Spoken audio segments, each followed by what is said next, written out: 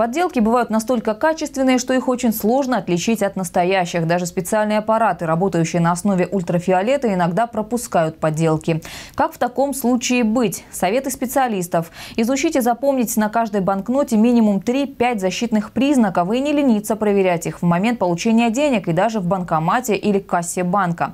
Проверять купюру можно и по микроперфорации. Ее хорошо видно на просвет, но проверять надо на ощупь. У настоящей купюры место микроперфорации обеих сторон гладкое, поскольку ее делают лазером. А фальшивомонетчики зачастую делают ее при помощи клише из иголочек, поэтому на фальшивке можно почувствовать шероховатость с одной стороны. Необходимо обращать внимание и на внедренную в бумагу металлизированную ныряющую защитную нить, пять участков которой выходят на поверхность банкноты с оборотной стороны.